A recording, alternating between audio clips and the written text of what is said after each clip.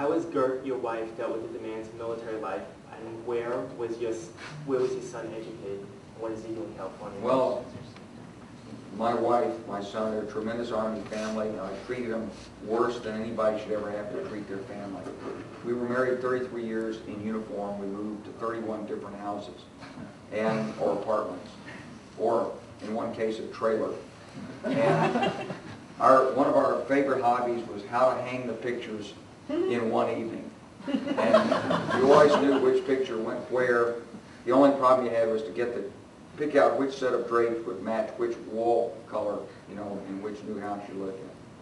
And we did that for 33 years. And um, the Army wives always had a saying that they would give each other. They have these wives support group, and the saying was, it would be, you know, they had a crocheted flower pot with a little flower, and it would say, bloom where you're planted.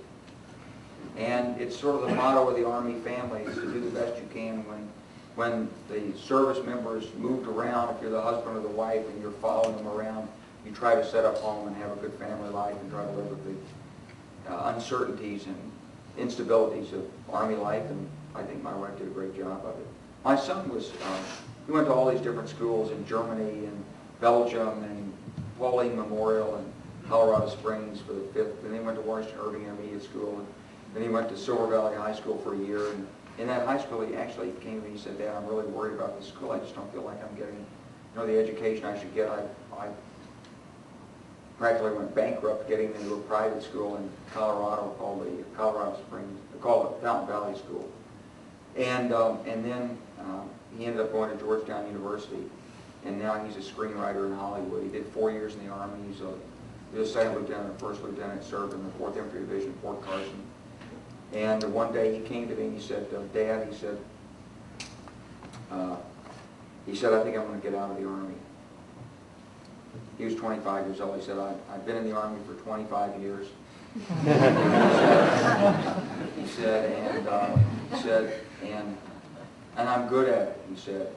And some of the sergeants that work for me, they used to work for you, and they tell me I'm a better leader than you were. He said, if I stayed in, I could probably end up like you. He said, but I just want to go someplace where I challenge, I want to do something that I could, you know, where I could fail. He said, so I'm going to go to Hollywood and be a screenwriter. I said, no, no, no, don't do that.